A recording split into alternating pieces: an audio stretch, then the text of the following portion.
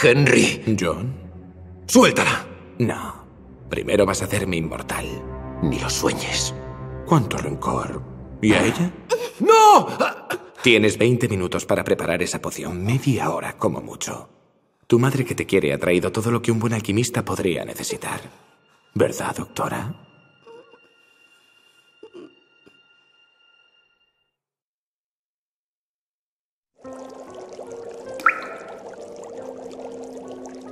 ¿Te suena esto, John? Lo localicé en Bratislava, a saber cómo llegó ahí. La copa de un carpintero hubiese servido igual.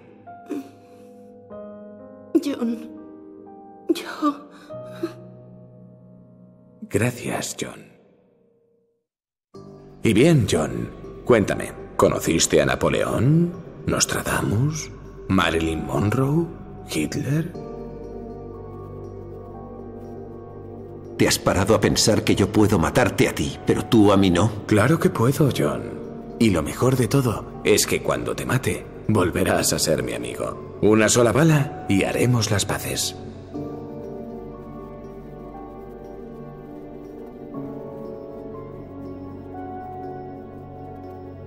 Cuánta gente has matado? Bah, no muchos. Ponle 50, el doble contándote a ti.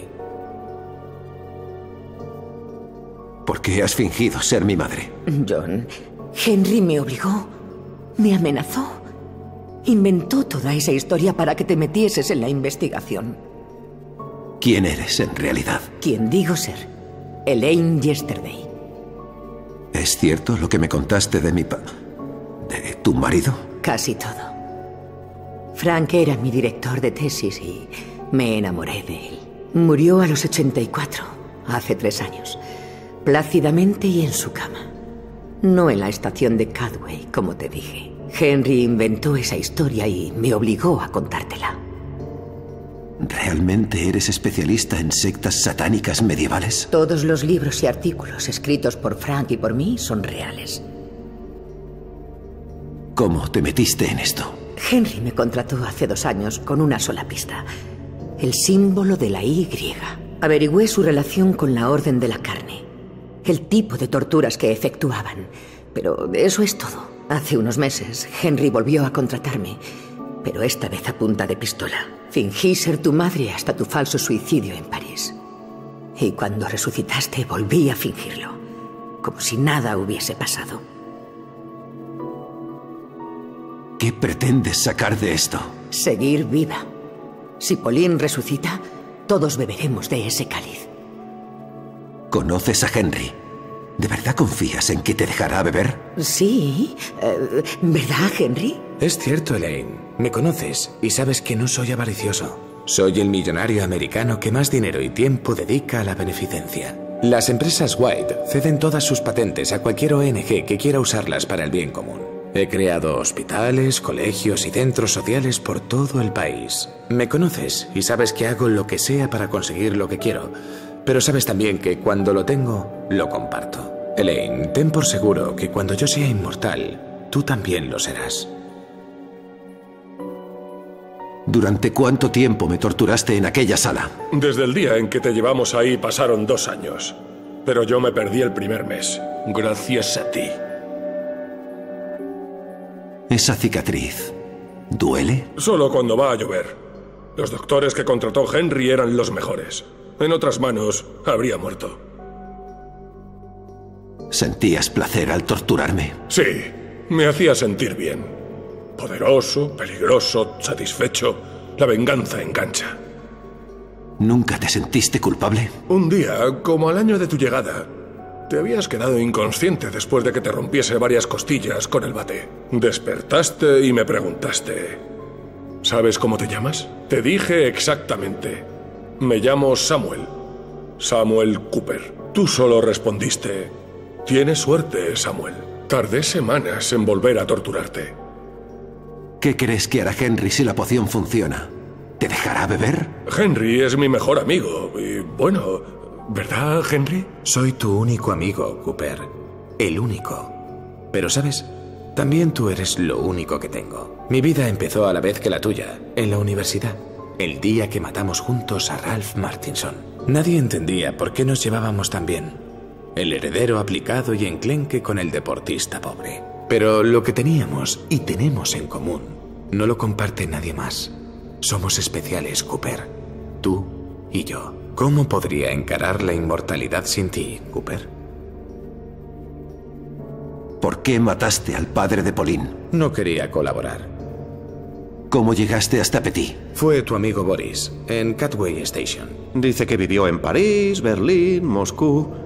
Qué pena. Mira, ha caído cera de las velas sobre la tarta. Controlé las bibliotecas de todas esas ciudades. Si alguien sacaba un libro sobre sectas, satanismo, alquimia, significado de letras, la Inquisición, torturas, yo me enteraba. El bueno de Petit era un lector insaciable.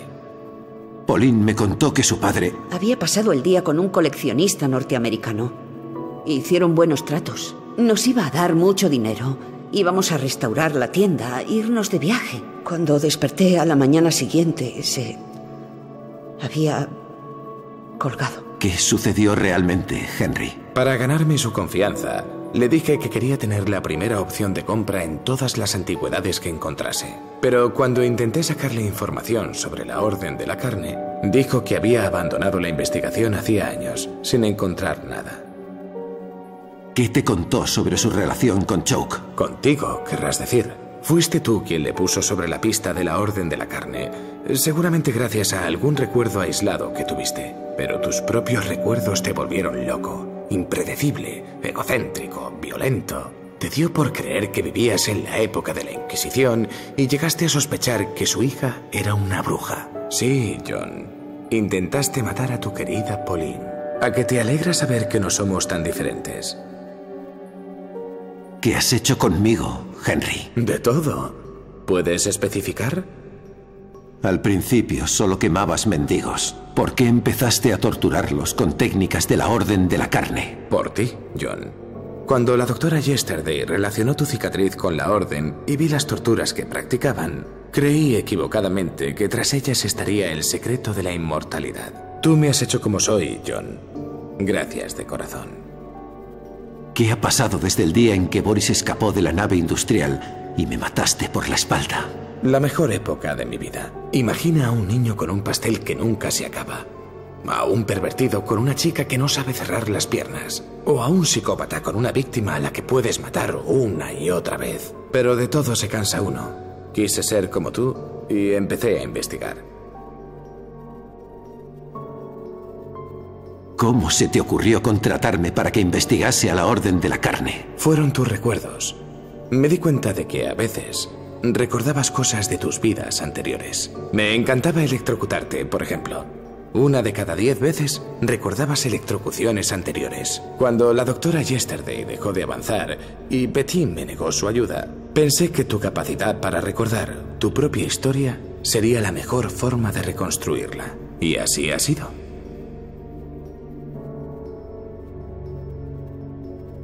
Marcel se equivocó dándome a beber mercurio.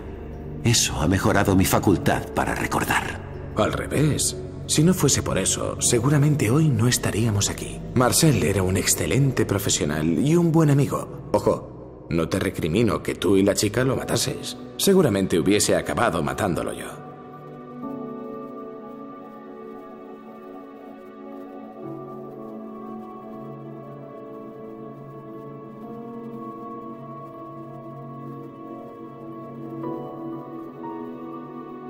Has prometido a Cooper y a Elaine que compartirás la inmortalidad con ellos. Y lo confirmo. Me gustaría recordar un par de cosas que has dicho antes.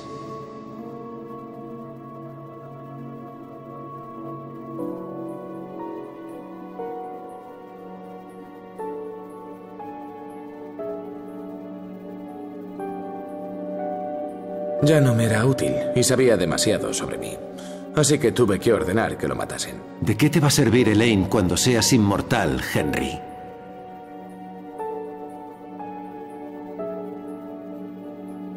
Marcel era un excelente profesional y un buen amigo. Ojo, No te recrimino que tú y la chica lo matases. Seguramente hubiese acabado matándolo yo. Si haces eso con todos tus amigos, ¿qué debería pensar Cooper? ¿Henry? Cooper. Joder, John. ¿Qué te habían hecho? Al fin, tú y yo solos. ¿Y la chica? ¿Tan rápido la has olvidado?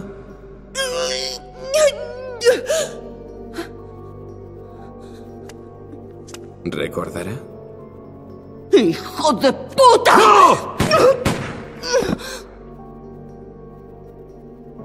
¡Oh, Dios!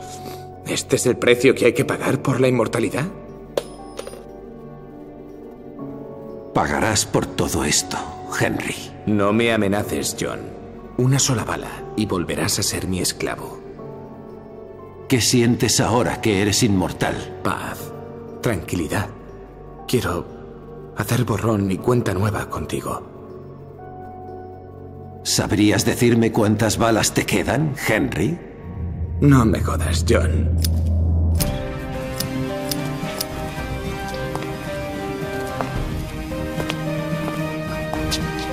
啊啊啊！